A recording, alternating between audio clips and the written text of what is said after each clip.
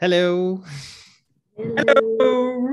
Yeah, so we have a little warm up before we start. Um, yeah, we'll we'll we just we just getting started, so we just wait for Vikram to come in. Hang on, I'm just going to uh, get to. Hello to the audience who just joined us, everyone. We're going to be starting very very soon. Hang tight, and we have our special guest. Uh, uh, Dr. Professor Munirah Alatas, who's here. And we are so, so grateful and privileged to have her on board. And yeah, I'll leave the rest to everybody else. I will be switching off my video because I'll be, I'm actually hosting the stream. So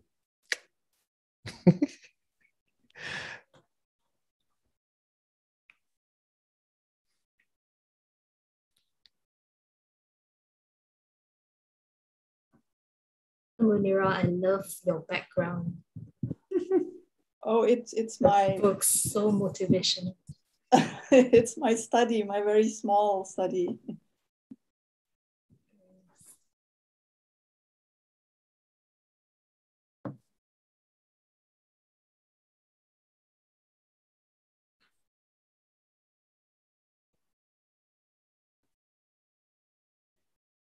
I'm trying to see whether I can see what books are behind there.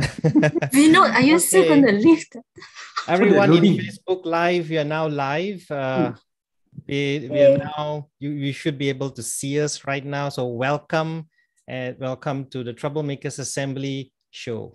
okay, Jinchi, um, I'm, it's all uh, your session now. Great, thank you, Charles. Right, Hi, everyone. Good evening. I'm Jinchi, and together with my team, Charles, Vikram, and Vinod, we welcome you to Troublemakers Assembly 2021. Organized by the Design School at Taylor's University, Troublemakers is in its third year now, and 2021 is our second year conducting our conferences online. Troublemakers Assembly is a gathering to honor and learn from the inspirational work done by an array of engaging personalities who have, in their own unique ways, made a mark in society through creative problem solving. This year, we have prepared for you another list of exciting troublemaking e-conferences this series aimed at creating audience immersion through an active and meaningful content with the end objective of inspiring the audience to become their very own change makers. To all Taylor staff, make sure you have registered for this session in HR at Taylor's. Attendance will also be taken here. Watch out for the link that we will be sending later to record your attendance. For other university staff and students whose institutions require proof of attendance, you may write to us. This, there is a survey that we have prepared for you as well. So um, we'll send you the link later on. Um, just watch out at the live feed, yeah? Now, don't forget to like and share our Facebook page, um, as well as to subscribe to our YouTube channel. Okay, let me now formally introduce our speaker for August 2021, Dr. S. Munirah Alatas. Dr. Munirah has a doctorate from, sorry, Dr. Munirah has a doctorate from Columbia University. He's an academic at the National University of Malaysia, specializing in geopolitics. She is also a columnist and a life member of the Academic Movement of Malaysia and the Association of Global South Studies. The title of Dr. Munirah's presentation this evening is Higher Education in Malaysia, Global University Ranking, the Need to Decolonize and Depoliticize. Before I pass the session over to the speaker, I encourage everyone to post at least one question for Dr. Munirah in our live feed during or towards the end of her presentation, as we would love to hear from each of you. Thank you. Let us now welcome Dr. Munirah. Thank you very much for um, that introduction, uh, Jinchi, and thank you so much for um, um, giving me this opportunity to talk to um, many of Taylor's University students and faculty. Um, I'm, I was very impressed and actually um, yeah, I laughed at when I got the email from G, uh, Jinchi um, because it said Troublemakers Assembly. And it was so apt because that's what academics actually do. Um, we are troublemakers to leadership. That's how they, they see academics around the world, that we basically uh, challenge existing norms. Um, so uh, let me get right into it. My presentation is actually going to be focusing a lot on um, ideas that have we have inherited from the past and how it has penetrated into our higher education culture.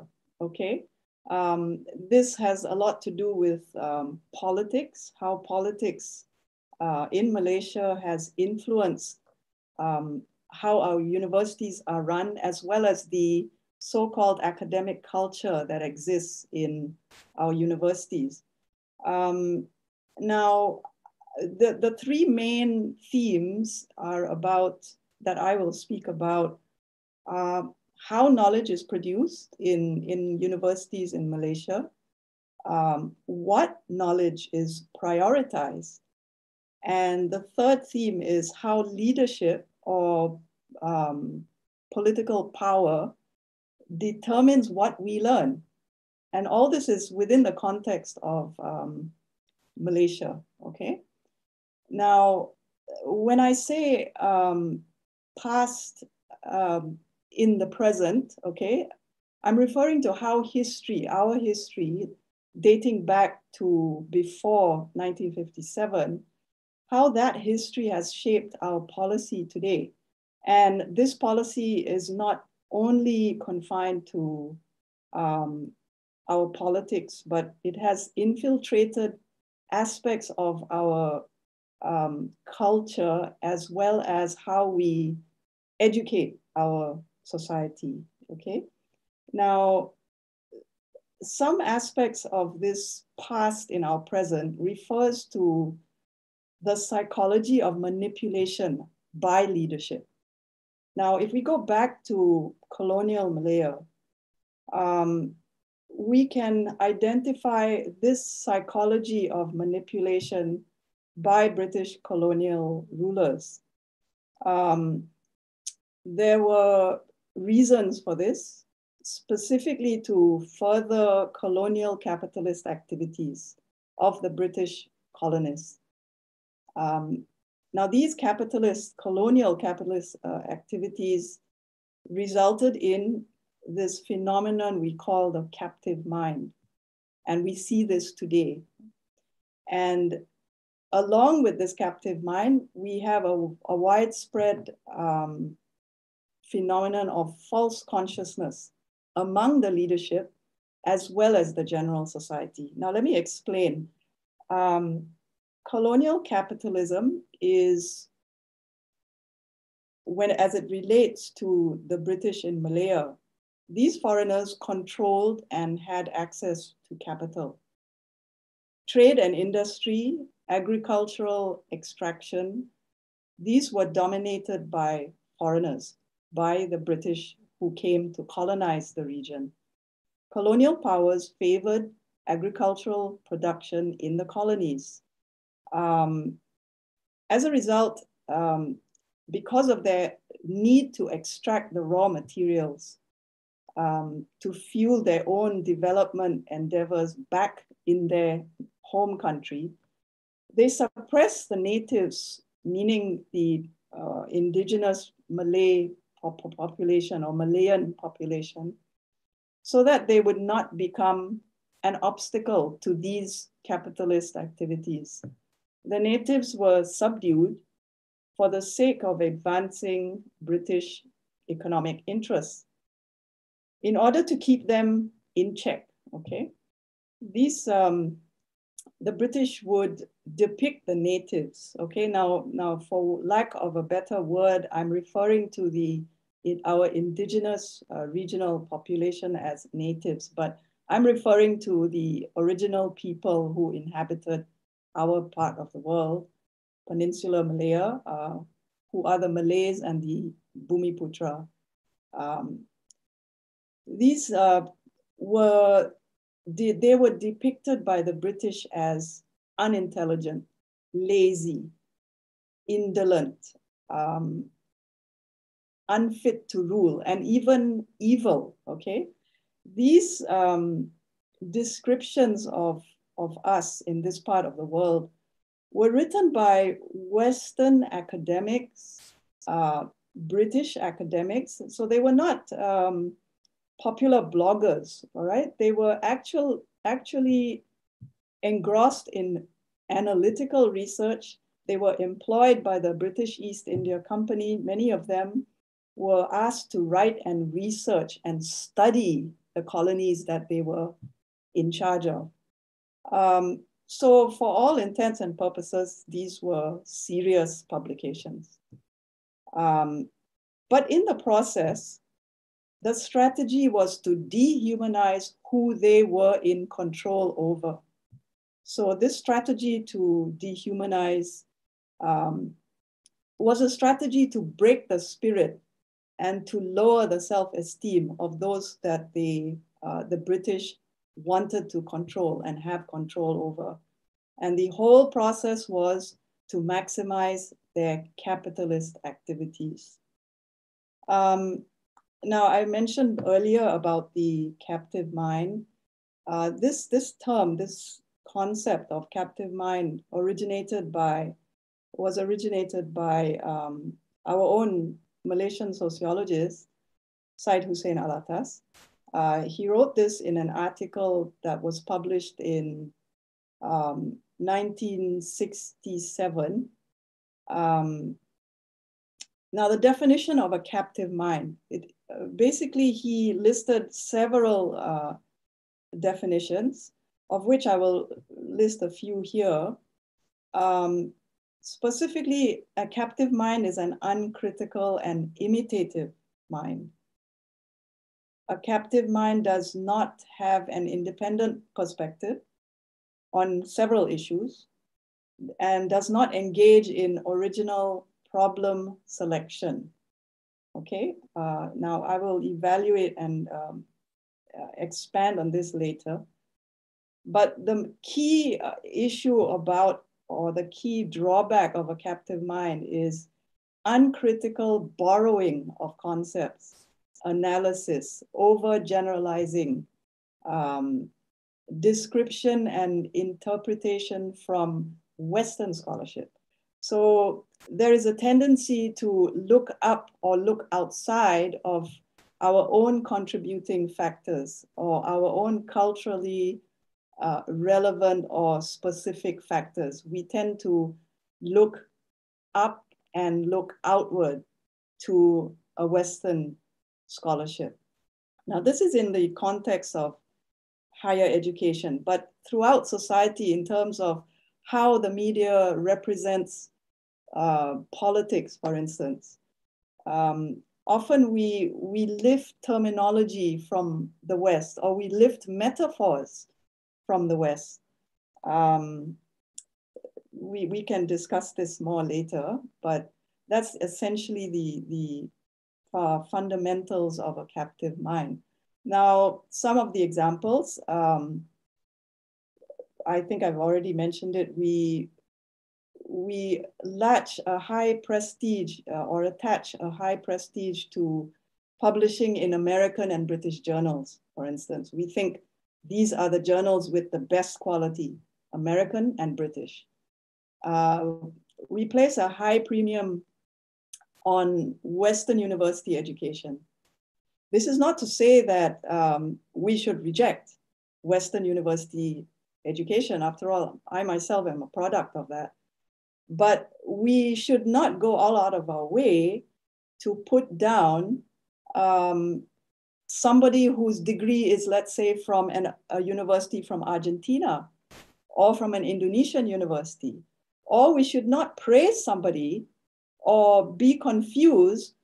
My gosh, did so and so politician or MP has a degree from Harvard, and yet she is uttering such nonsense.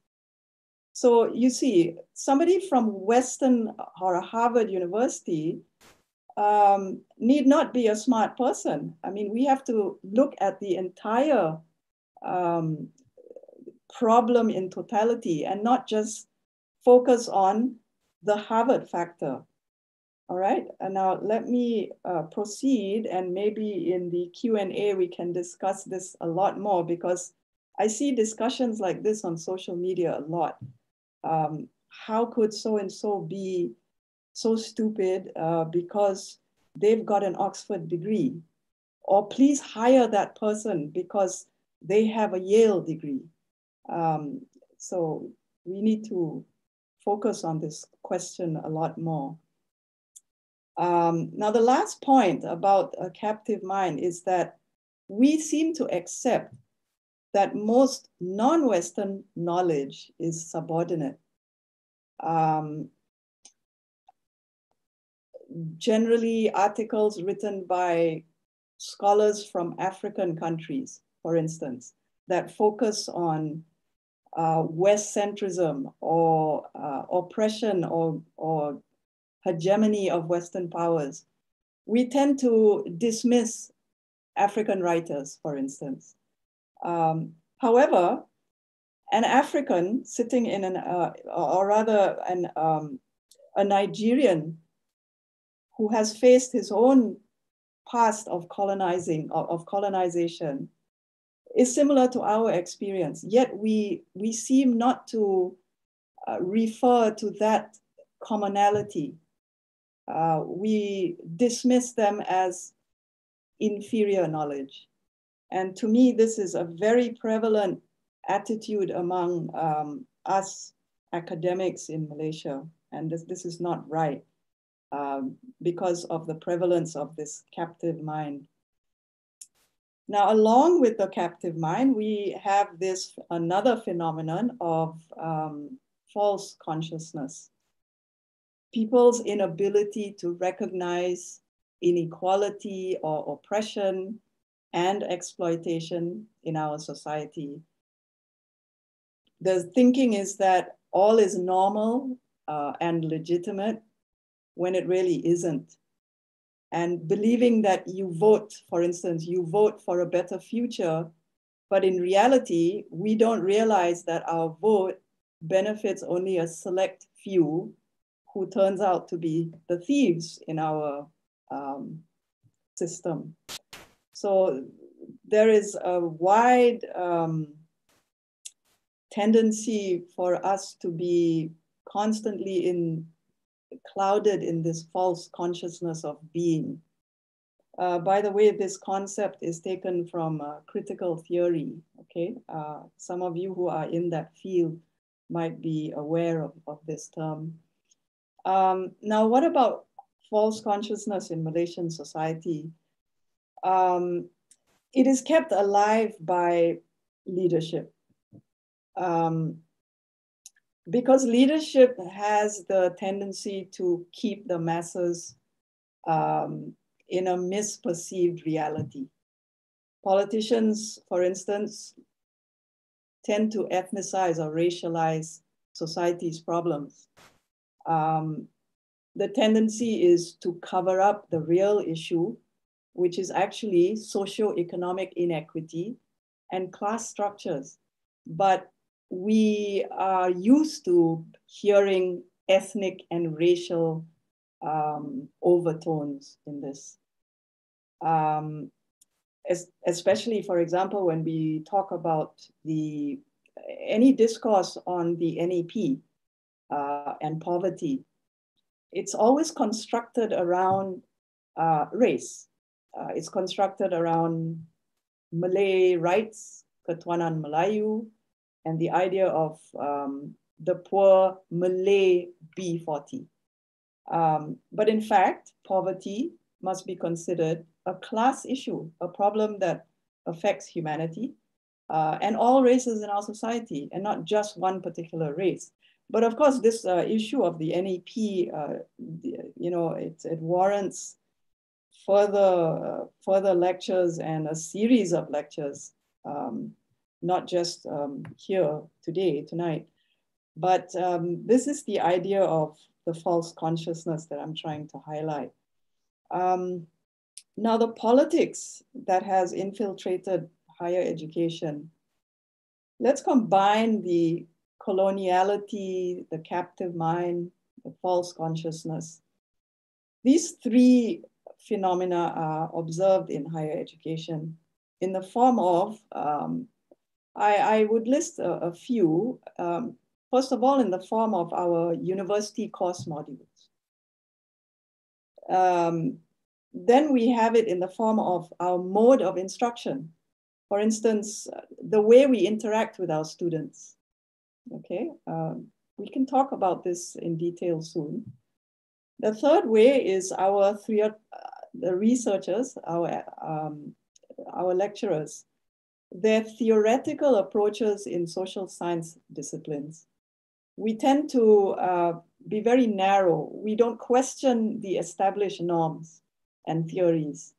Now, I'm speaking as a social scientist, okay? So my examples are predominantly from the social sciences, specifically um, uh, political science, sociology, um, history as well, and IR, uh, which I don't separate it because to me, IR falls within political science. Uh, but nevertheless, the, the narrow approach to how we teach about theory um, is, is that we don't question the established norms. And most of these norms are established by so-called the superior knowledge producers in the West. Um, again, also it's our quality of assessment of course modules. Uh, and this brings up the discussion of our MQA criteria, um, the, as well as criteria for academic um, promotions. And of course, last but not least, a very um, the bane of our existence, which is our worship of global university rankings data. Um, this is a serious issue, uh, but we don't seem to be able to shake it. Uh, although some of the universities in the West, in the developed West, uh, are beginning to see and are beginning to reject um, a lot of the practices that are, around, that surround the ranking system. Um, now, a, a, note about coloniality, all right? Um, coloniality is a term, it's a sum of all the activities of the colonizers that I referred to much earlier, uh, connected with economic activity, aimed at, um, it's aimed at creating an image of the natives or the colonized so that they think of themselves as intellectually and morally inferior to the Europeans. Um, as a result, the colonized, they start denigrating themselves. They neglect their own culture and they think of the foreigners as superior. Um, in a similar way, uh, we grade, we grade our universities based on universal standards set by this ranking system. So my question, uh, one of few that I'm going to throw out to you, is, is this accurate? And should we continue doing this? Uh, because what does that say about us? Uh, are we denigrating ourselves? Are we neglecting our own culture? Now, let me put a caveat here. I am not rejecting the standards set by many universities who are part of the ranking system, all right? I'm not rejecting it wholesale, but I am rejecting many aspects that don't agree with the level of our higher education progress in our part of the world so far, the criteria used okay? Uh, let me proceed with um, another development based on historical ideas, but contextualized currently, is this notion of um, coloniality without colonialism. Today's Malaysia. Um, we have an elite mindset behavior, okay? This elite mindset. Now, what do I mean by that? uh, our leaders are, most of us are Western trained. We revere Western education. We consider Western education sophisticated. You can see this on the media uh, in WhatsApp group discussions. Um, when somebody's daughter or son is sent to the UK, um, if that person is well placed uh, in society, they talk about this fantastic apartment they are going to rent or buy in a very exclusive London um, town uh, or segment of London. Um, you can see that there's this love of the British high life or the high society of Britain. And it's not even the US, all right? It's, it's still the connection with our British colonial past. Um, there's also this idea of um, feudal culture. Uh, and what I mean by feudal, I don't mean to uh, denigrate the fact that we do have a royal um, community here. That's not what I mean. And for more information about feudal culture, I would uh, suggest you also read uh, Shaharuddin Ma'ruf's um, uh, very good, well-written book on um, feudalism uh, in our history, okay? Uh, now, I mean the masses are subservient to VIPs. We are subservient to somebody with titles. We are subservient to um, um, VIPs in such a way that we overlook or we refrain from commenting if somebody who is a VIP breaks the rules.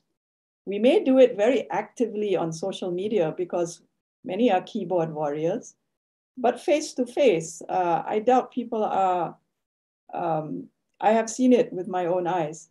They'd rather keep quiet and um, complain about it behind their back than face to face because it's not done the feudal uh, culture there is that we don't, you don't talk to somebody and be direct. In some instances, yes, it's okay to reserve your anger um, or rather your displeasure and put it politely. But in other instances, uh, we must be able to distinguish between what needs an immediate solution and what needs to be dealt with uh, in due course. And this is where I find the problem exists in our society. We put off things that shouldn't be put off in the name of we need to be respectful or polite. So we need to consider this kind of uh, behavior when it comes to our social and political crisis. Um, another aspect of, of this culture is uh, found in our political publications uh, and the control of the media. Um, now, the book uh, Revolusi Mental, as we know, published in 1971, uh, that is an example of coloniality. The authors were, uh, at that time, were members of, um, of the ruling party. They um, the book presents a very unflattering image of the Malays. Okay, there, there are paragraphs which describe the Malays as um, dishonest, lack of courage uh, to fight for the truth, always fail to resist being exploited or oppressed, um, possess a fatalistic attitude, do not think rationally, uninterested in science and technology. I think I've heard this many times from our fourth prime minister and um, a few others. Um, do not persevere, not frugal, undisciplined, unoriginal, un- unimaginative, generally backward. Okay, now this book, Revolusi Mental, as well as Malay Dilemma, is full of these descriptions of of what the Malays are. And therefore, we've written this book to encourage you to come out and progress. That's the attitude. Um, so the book's intention is to offer advice on how Malays can progress. Um, obviously, and it was published after May 1969. Um, but decades later, the same narrative is being used, um, mainly by political leaders. And of course, it becomes mainstream discussion or narratives um, among the public. Uh, political and religious leaders use the same narratives uh, under the notion of encouraging the Malays to succeed. But this is not um, what has this res resulted in? This narrative of coloniality set by the current leaders um, is actually similar to what was used by the British. Uh, it has resulted in a culture of submission to authority and, of course, low self esteem. It has resulted in the disadvantaged always turning to leadership for solutions. So, what has developed? It's a mentality of dependency. It is uh, indirectly encouraged by this constant narrative to um, suppress your self esteem. Um, now, how has this impact uh, has it had an impact on higher education? Um, we have a knowledge culture um, basically that fulfill, fulfills a specific political and economic agenda. Um, and to me, this is a form of intellectual oppression through de um, dependency. It's a lack of academic freedom in that sense. A neglect of academic culture, not to say that we actually have a, an academic culture uh, as what we read about um, um, for instance, in the movie Dead Poet Society. Now, that is true academic culture. I don't know if many of you have seen the movie. Um, but we have a, a, a, profound neglect of academic culture. And then, of course, we surrender to global university ranking exercises. Um, driven, we are also driven by ideas which assume that education standards set by the political elite uh, is uh, more prestigious and necessary for development. Uh, the penchant to question policies is not there. Um, again, it also has contributed to our, our lack of critical thinking, a preference for descriptive research fear of challenging existing theories, lack of original ideas. Um, researchers are also unable to understand problems um, and link them to appropriate action. We do not make the connections among various phenomena. So what I'm actually referring to is we many academics in our higher education institutions, and my experience is, of course, with the public university system, is that we have poor analytical uh, or critical thinking skills, but we do pay lip service to these words. Um, but it's very um, depressing that I don't think many I interact with actually understand what it means to analyze or be critical. Um, another very sad development is a decline in um, classroom discourse. There is a preference for top-down, linear, passive learning and educating. Um, we, of course, are familiar that this happens in the primary and secondary school system, but at the university level, it is also happening. It's, um, it, it's criminal, in my opinion. Um, I think I'm going to stop here. Um, I'd, I'd like to thank you for listening, and I'm sure you have questions. So please ask, and uh, I will attempt to, to answer. And if I, um, I would like it to be as interactive as, as possible. So uh, back to you, um, uh, Vinod or, or Jinchi. Thank you. Thank you. Thank you so Thank you. Thank you, Dr. Munirah.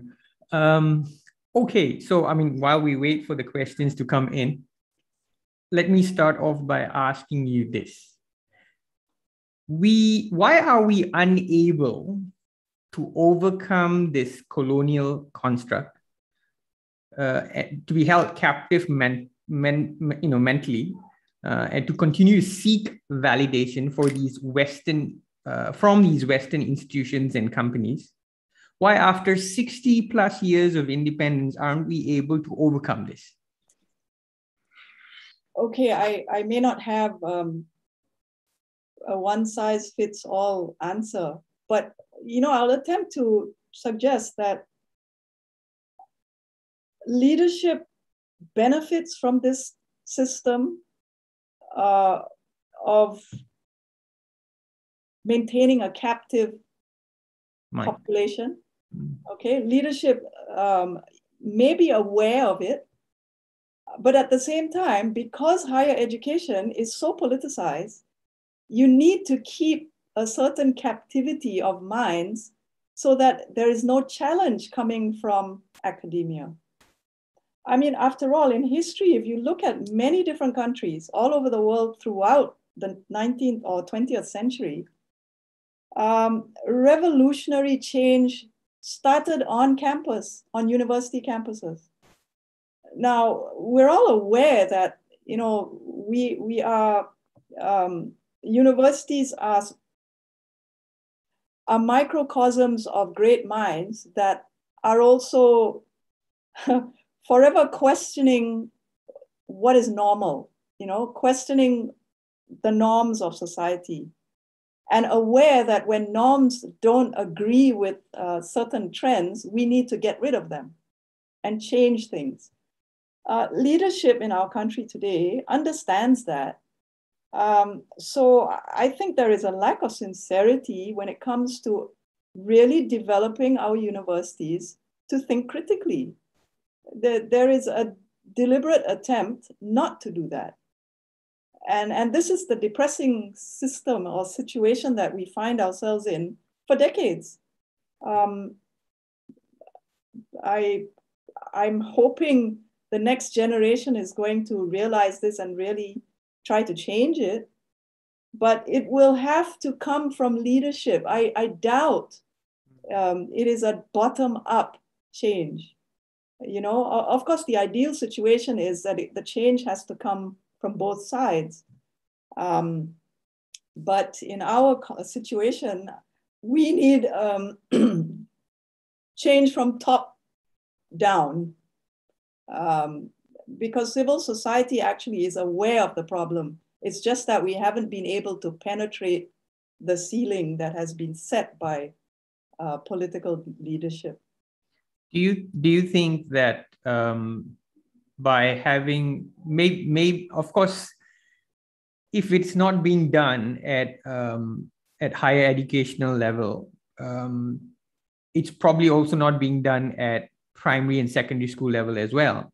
Um, because I think the history subject has has a lot to do with the framing of this, or rather the explaining and uh, and unraveling of this this this captive mind thing. So if if if is it possible, maybe if colonial history is taught with a lot more rigor at at primary level and secondary level, this this possibility to dispel uh, to for, pe- for people to begin looking uh, at uh, this imposition of values or, or standards from wherever they might come from would be a lot the people would be a lot more discerning uh, eh, when when it when this happens uh, so perhaps one of the possibilities could could be uh, the introduction of colonial history uh, you know right. in history books as opposed to what it is right now but of course well, you know, uh, when it comes to how history is taught in the school system, uh, it's very myopic. Uh, I mean, we are we have become a very polarized society, mainly because we haven't exposed our kids to intercivilizational history. Um, you know, we, we don't teach art history um, of the Greeks, for instance, because there are too many naked bodies, um, you, you, know, uh, for the wrong reasons. Uh, but that aside, um, too many churches, you mm. know. Um, but at the same at the same time, why we need to know what the West has gone through, what the West has struggled with, how the West overcame problems, and the similarities between the events that the West went through vis-a-vis politics and religion uh, and what we are grappling with.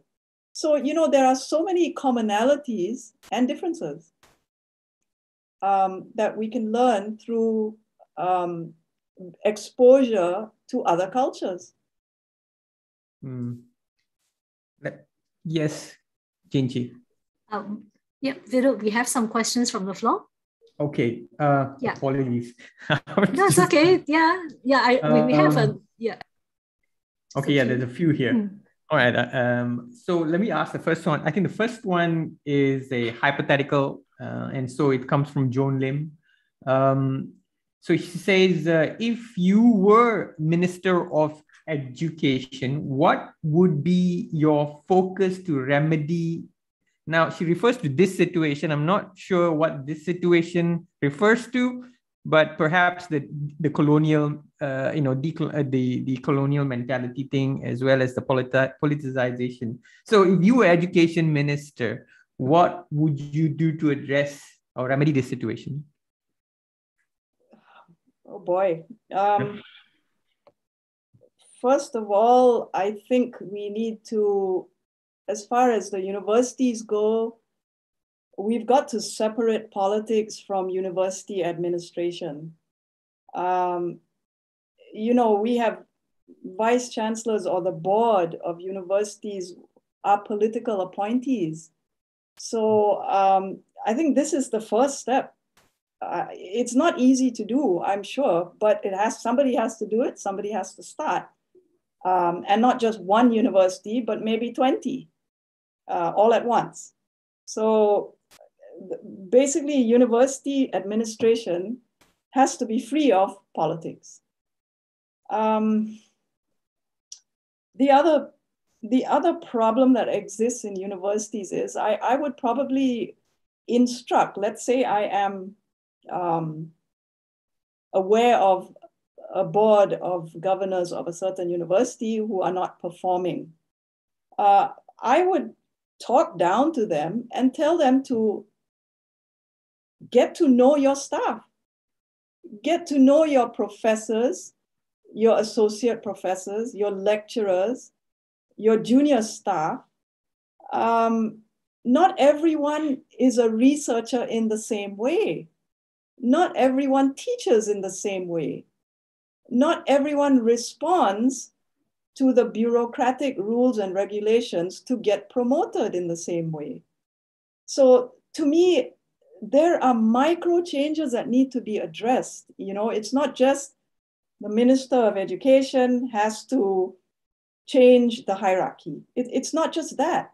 It's the whole interaction. It, after all, what is a university? It's made up of people people who are highly educated, highly creative, who have opinions, who communicate with each other and want their voice to be heard. I mean, these are what academics are, right? We don't just write and, well, I hope we don't just write and keep quiet. I mean, many of us want our ideas to be accepted uh, and also hopefully to change the problems that exist. So I don't know if I'm answer, answering your question, Joan, but the, the problem is very much more micro and intricate uh, mm. because it's, it's a problem of human, humanity. It's a human problem of knowing who your academics are and um, tapping on that talent. Uh, so, but God forbid, I, I don't want the position. Uh, thank you anyway. See, it's always the people who don't want it who needs to have it, right? Uh, you know, it's usually the case. And plus, now with the uh, higher education minister stepping down, maybe you're a shoe in. Let's move on. Next question.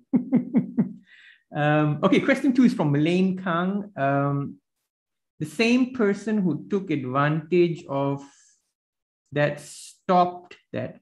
I don't I don't understand this question. I think I'm going to skip this one. Yeah, mm. the structure. Um, yeah, we have actually quite a few. Um, I think we'll start with um, this we got from the YouTube live feed. Um, Dr. Azwin. Hi, Dr. Azwin. So um, the existence of MQA somewhat supports a captive education system. Would you agree? I think it's a, I mean, a short question there. Yeah, short question and very short answer. Yes, I agree. Yeah, yeah. Definitely, I agree.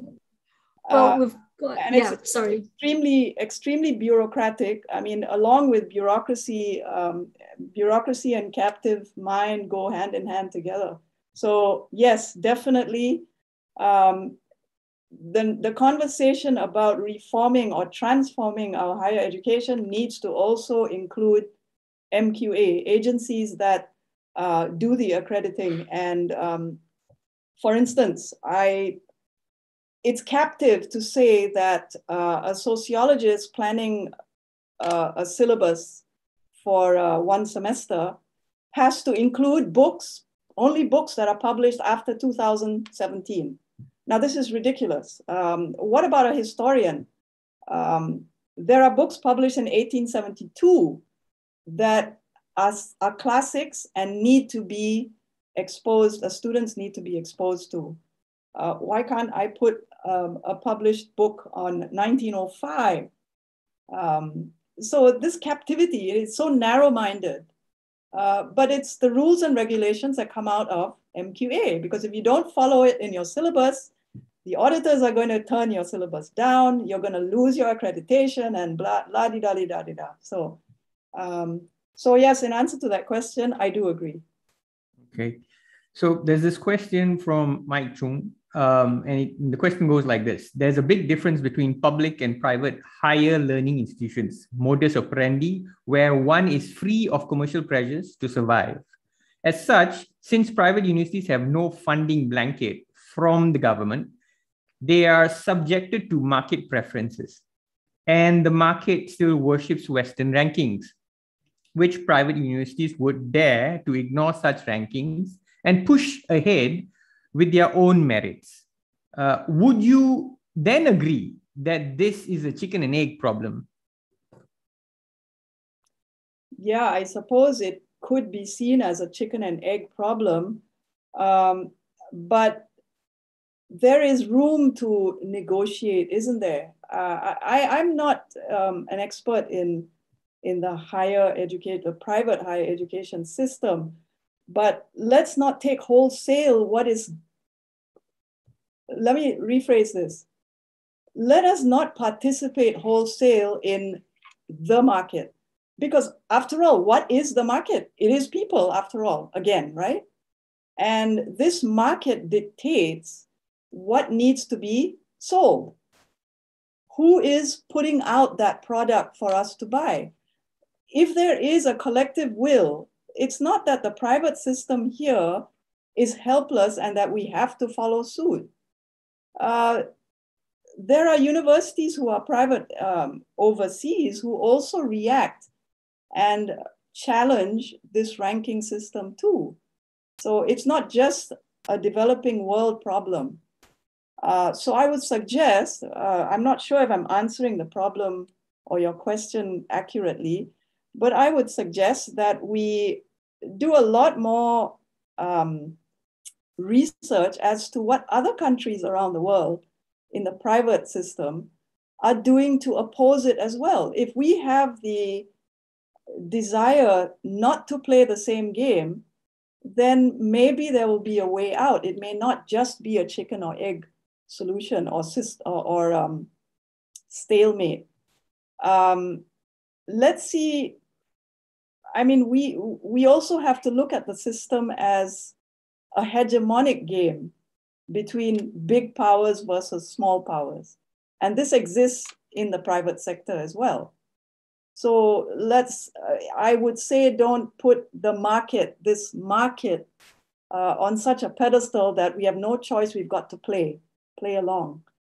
But you know, it, it could seem like it's a naive answer. Uh, but the way I see it is we are always willing to accept this idea that it's market driven, nothing we can do. But who drives the market? Uh, again, it's superpowers, isn't it? It's the big powers who drive the market.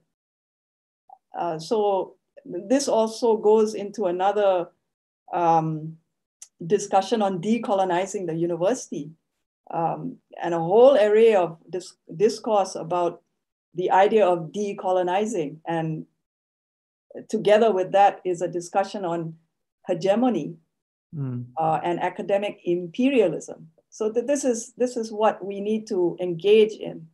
Yeah, I suppose it's a it's a it's a tough. I think what uh, Mike is alluding to, it's it's a tough battle, especially if you're in the private sector and you depend on uh, private fund. I mean, the, the fee structures, the, the you know enrollment, admission. So it's a numbers game at the end of the day. Bottom line dictates, uh, you know what what what what is to be pursued, uh, which I mean, because at the end of the day, now because we have and the and the media has and the government and leaders, whoever, have hyped this ranking thing so much that everybody looks at it, right? You know, people uh, people look at what your rankings are. I mean, they're worried that if you do not feature in the rankings, you you know you probably lose uh, uh, admissions, you lose enrollment, and that, therefore, um, you know, uh, you're not going to be able to survive um, in the long run. So perhaps um, that it is a, a, valid concern, but as you say, perhaps I mean there might be universities out there. There's not enough research done uh, about private universities that are opposing, uh, you know, this ranking system. Um, I have to ask this question because uh, it's written in all caps. Uh, I mean, to me, not maybe the person didn't write it in all caps, but so it's from Simon C.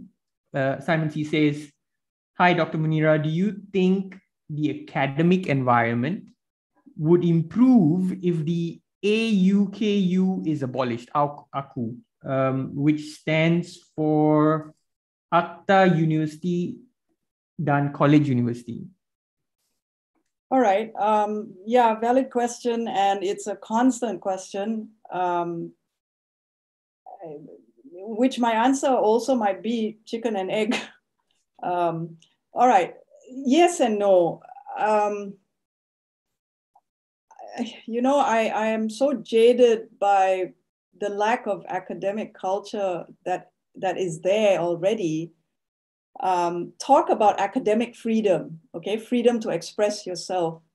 Um, again, how sincere are we when in the public system? Again, my experience uh, having been in the public system, do we actually understand what it means to be academically free? Because do we have the capability to do that free uh, research? Are we interested in doing the free research? We're so ingrained in what is easy and simple, plus we are eh, bogged down with the administrative work that we are supposed to do on account of having to publish in Q1 because we are chasing the race the, the game uh, of ranking. Um, what does it mean to abolish AUKU? Are we going to make use of it? But of course, definitely, it is a hindrance. It has been um, a noose around our neck for, de- for decades. And we will constantly fight to get rid of it. And I'm hoping that if it is reformed, which, by the way, the previous government um, was uh, heading towards that, but 22 months is not good enough, not, not long enough. Um, of course, it's a good start. We, we should abolish it because along with that act is this element of not trusting your staff, not trusting your academic uh, output. Um, treating us like we are incapable of writing correct research? Or, or are we just actually just blogging to condemn political leaders? I mean, this is ridiculous. So, yes, I think abolishing AUKU will definitely help uh, in raising the standard but um, it, it, has to go along with other things, like changing the mode of teaching, how we teach. Um, again, alongside the academic culture of discoursing between uh, your colleagues, your colleagues and you have to engage in discourse, engage in discussions in the corridor, go to visit each other in your rooms. I mean, that doesn't happen. I don't know about you guys, but uh, I don't see that happening. I have not seen it happening for a long time. Yeah. Um, that there is this attitude of um, envy, maybe. You don't want to share your ideas, you're afraid somebody else will take it. And it's not that we are dealing with um, great minds here who, who can whip up an article in one week or one month, um, which has earth shattering ideas. No. Uh, but this culture has vanished. I remember it existed um, when I was briefly teaching in the US. It, it was very much alive. But then again, that was, you know, in, in the 90s. Um, uh, but here, uh, I, I have not seen it. Yeah, I think I think we can uh, empathize with the conversation and dialogue between uh, you know lecturers because I think a lot of us are so bogged down by work, you know, uh, I, whether it be administrative work, whether it be you know chasing uh, chasing paper or whatever it may be. Uh, the we when we started off, I remember me and you know the whole batch. We used to sit up in the uh, uh, you know we have this foyer area there in the uh, meeting rooms and, and and in the staff rooms, and we would sit there and there'll be a lot of conversations. A lot of that conversation actually led uh, to a lot of you know interesting uh, things. And so yes, you know over time uh, we have less and less. Uh, in fact, it doesn't happen now. Uh, if it does happen, it happens uh, um, very rarely because you know we just bog down with work. So yeah, um, while before I just go on talking about that, let me let me put this question to you very quickly. You have lamented the loss of academic freedom and individual autonomy in higher education, which is what we just talked about. You have said that no academic attached to a higher education institution anywhere in the world is truly free if that university participates religiously in the ranking exercise. Yeah. So, but isn't the notion of freedom itself an unreal, unrealistic proposition? Whether on because whether or not we take part in this rankings exercise, because the moment you become an employee of an institution, you become part of a larger collective that is governed by certain rules and policies. So, therefore, I mean, I put to you, Dr. Munirah, seeking academic freedom is an unrealistic proposition, isn't it? Okay, well, uh, you know, I will take that question to a much higher philosophical level um, as a way of avoiding the answer. No, but really, as human beings, are we 100% free anyway? Are we free to spit on your neighbor? Are we free to sh- yell? You know, there's no such thing as complete freedom. Unfettered, yeah. Right. Um, and yes, when you join a university, you're part of that um, institution. You conform. There's certain ways of conforming, but you know we're talking extremes here. I, hmm. I don't subscribe to extremes. Um, freedom, yes, but we're not talking about unfettered freedom, and neither are we talking about putting you under chains. Mm. Uh, what I witness in our culture, in our society, we have a penchant for extremities, or, or sorry, extremes. Um, we either take away our freedom to express ourselves with the act, or else, when we discuss, uh, have a discourse or a discussion or conversation about removing it, um, examples are complete freedom, everyone will go haywire, and you know, so there is a lack of an intelligent approach to freedom. And the concept of freedom actually is discussed very intelligently in other cultures in the West you know, we should emulate that from them. Um, So, in answer to your question, there is no unfettered freedom. But what we need to break free of is the extremes that we have put ourselves in. So, is rankings an extreme? Uh, in many ways, yes. Uh, I'm not saying, I, I don't think I've ever said reject the ranking 100%. But there are so many qualifications, so many criteria that each university has to go through, plus exorbitant payment that we have to make uh, to, to take part in the ranking. And for what? Um, we standardize, we use standardized rules and regulations and apply it in our society, in our economic development conditions. Whereas we cannot compare, well, I don't want to say apples and oranges. We cannot compare bananas and durians to, or oh, well, anyway, for, for, for lack of a better, less Eurocentric uh, comparison, yes, we cannot compare apples and oranges. Mm-hmm. Uh, there are certain parts of the ranking that, yes, we can be amenable to, but not 100%, which is what we are uh, in a frenzy about. So we, we, you know, can I suggest we actually have another discussion about this and not necessarily me, mm. But have a completely dedicated discussion about the world university rankings and how it affects the developing world uh, you know, let's expose every one of us to how other countries are dealing with it in the developing world, but also how many developed countries are trying to break free of that as well.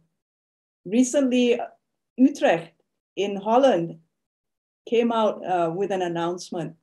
Hmm. So, I mean, how developed a country is Holland? I mean, they are extremely developed but they are also realizing the inhibit um, the inhibiting rules and regulations of of the system. Okay. Um, Jinchi, you wanna you wanna put in a question there from the audience? I think I think Dr. Munirah kind of have answered um, most of the questions. The question, yeah, the question from Suresh Kanan. Because mm. he asked if global ranking is not a good measure. When she started saying that and i was like okay i think you know it's answered. Um, well anyway the question is if global ranking is not a good measure of university standing then what is a better measure or alternative? I, I think yeah i'll just, has, I'll just you know i'll just add one last sentence. Um, global ranking is a good exercise right it's it's competition and it creates um, a certain level of quality. But the tendency to standardize and who sets the standards, um, this is what needs to be discussed. There, there needs to be a, a bit more give and take between the global north and the global south. Hmm. And, and this is my complaint about ranking, you see. Um, the give and take is not there. And it translates or it expands into the way the world is organized today, mm. or for a long time since World War II. Um, it's it's the North versus the South. Um, look at the whole vaccine system now going on. Uh, again, it's hegemony of the powerful over the weak. Um, and I'm looking at ranking that way, you see. Um, there has to be a, a conversation between the two. But right now, we are accepting everything that is imposed. And the argument is, well, we won't get the funding if we don't. But um, I also don't see enough effort of the governments um, to, to stand up to the West. Mm. I mean, China is doing it, even though they too take part in the ranking and they have their own ranking system. Um, but you know they do stand up to a lot of the hegemonic practices that are coming out of of um, well currently it is the US but but it has been for a long time of um, the European uh, system as well. So th- that's that's what I, I hope, Suresh, I've sort of answered your question. So does does chasing rankings by adhering to the benchmark standards of QS and THE annual rankings skew and distort the organic growth and potential of unique growth of educational institutions in in in in, in you know in uh, developing countries? Well, you know, let's let's look at it this way: the Q of publishing in Q um, one journals, for instance. I mean, we we are so uh, we spend a lot of time going through lists of which journal is Scopus and which is Q1, and we need to get published, you know, three times a year in these mag- in these uh, journals. Uh, costs money, right? So we apply for funding so that we can fund these, um, you know, 2000 US dollars to, to publish, submit an article. But recently, um, in my field, international relations, uh, last year, uh, International Studies Association came out with an open access uh, journal specifically produced, published by Oxford University Press, uh, specifically with the knowledge that it is time to um, to be inclusive of the poorer countries. Okay, so I've submitted a journal, uh, an article, and it has been accepted. But of course, it doesn't have a Q ranking yet. Hmm. But you see, I don't, I don't do it with that in mind. I do it because the um, the peer review process was extremely rigorous uh, I had to go through two sets of revisions over, over a span of, um, yeah, five or six months. Okay, so it's similar. It's published uh, uh, in by Oxford University Press. It is a product of the International Studies Association, so it's got good DNA. Uh, but the point is, it's not ranked. It's not Scopus yet. I mean, these things take time, right? but I see long term, you know, and my ideas are accepted and it has been rigorously debated during the peer review process. So I look at it that way, and I'm not concerned whether it's Q1 or not, because 10 years down the road, uh, I may make an impact.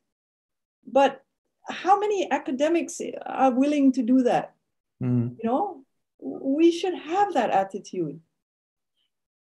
You know, like everything in life, if you want it perfect without sacrifice, uh, any sacrifice. It's never going to happen. Right. Um, call me naive, or, or, you know, maybe I am, but uh, there has to be an element of sacrifice here.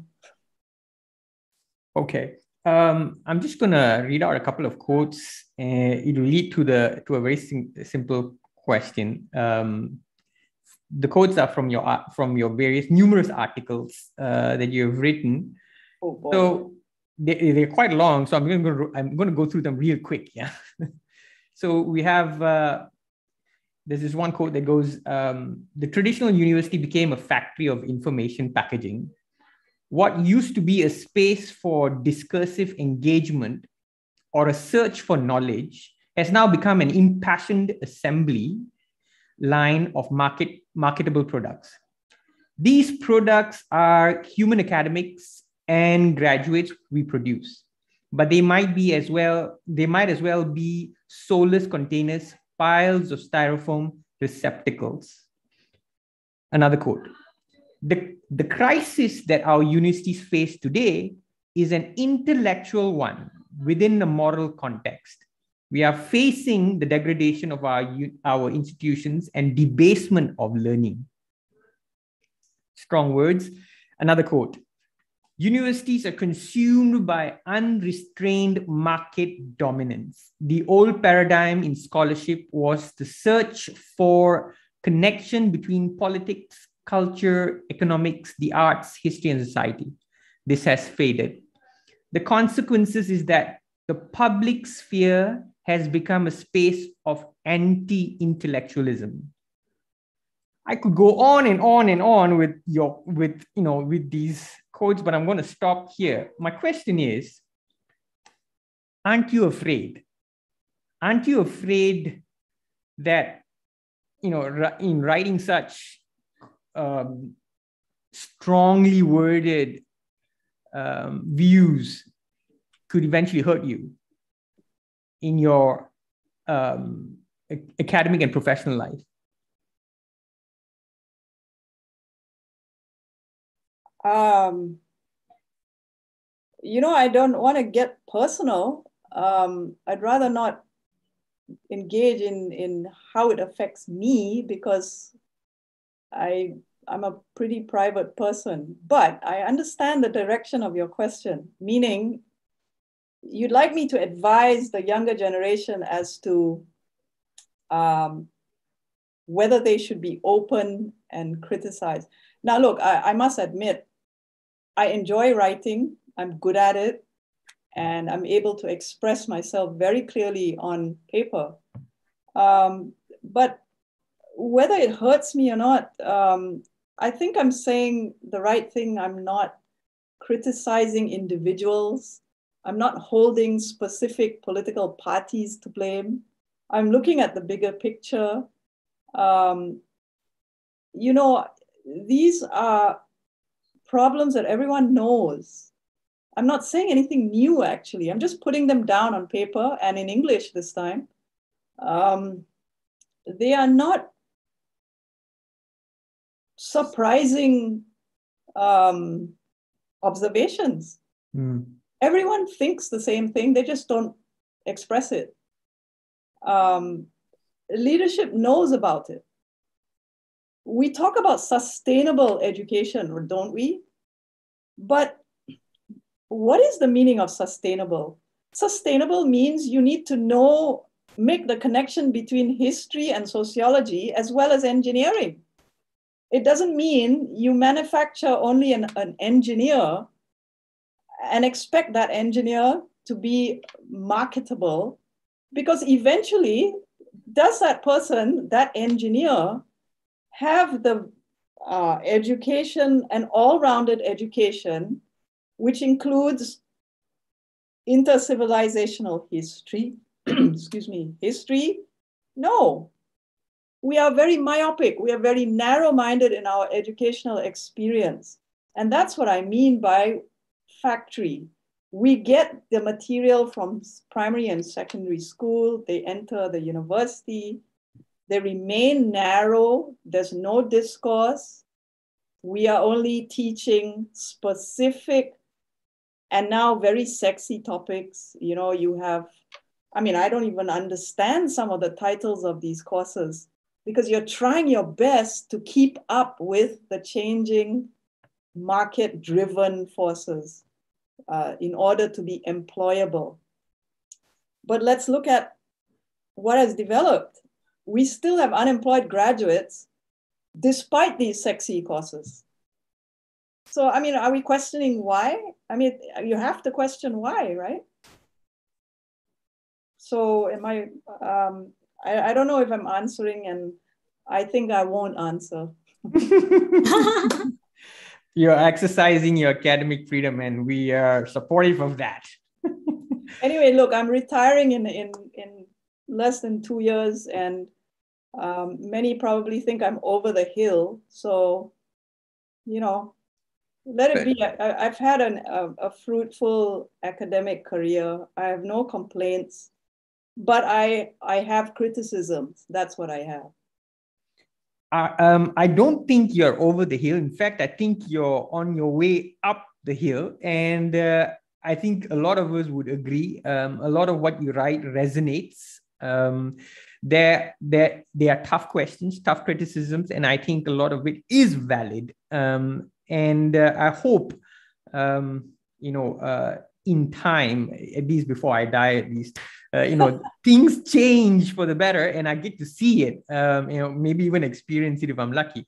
But um, with, with that, I think uh, I would like to thank you for your time, uh, and I'd like to uh, I hope maybe when your tenure is up, maybe we'll see you on this side of the of the wall. Yeah, that would be great. Um, with that, I'm going to hand it over to Jinchi. Thank you, Vinod. yeah, we were having our while you were sharing your answer, we were like talking to each other, like, can we keep her? She's intelligent. We love her. Stay with us. So yeah, thank you so much, Dr. Munirah. Let's keep in touch. Uh, you know, I, I must, um, I, I don't think I've told you, um, uh, my son went to uh, Taylor's and uh, he graduated. Um, he was in the American program, so he's in the U.S. now. But uh, he enjoyed it, and uh, I enjoyed your campus as well. I've been a, a couple of times. No, they, if there's one thing we do well, I mean, or rather, we, we try hard to do well, is to try to uh, try to make the experience enjoyable. It's not always successful when I try to do it, but you know, I try still. um, okay then. host you. Yeah. yeah. I think we will take you up on that suggestion where we should have a larger panel to talk about these the rankings thing um, with you know more people involved, so that mm. uh, the the the discussion is a lot more um, uh, richer, uh, and we have different views, um, and, and, that's probably something maybe we should we should do a special edition, Jinchi. Uh, you know, something to think about. Yes, yes, definitely. Right. That'll be great. Okay. And thank you everyone for joining us tonight as well. So we will now exit and um, Dr. Munirah, join us also for the next um, session, which will be in two weeks' time. We will send you the invitation. Um, yeah, with that, um, I would thank my team here as well. I'd like to thank them. Charles, Vikram. Thank you. Yeah. And thank you, thank you to the participants too for your questions. Yes. Thank you, Dr. Munirah. You take care. Uh, be, Good night. Before, before, before we go, before we go, uh, let's take a, a nice screenshot. I'm just going to take another screenshot here. Okay. All right. Uh, okay, ready? One, two, three, smile. All right. Thank you very much, Dr. Munirah. It's been right, Good night. Bye. Good night, Bye. Dr. Munirah. Good night. Bye. It was so nice to see meet her. oh, and that. are we offline? Not yet. Oops. Not yet. And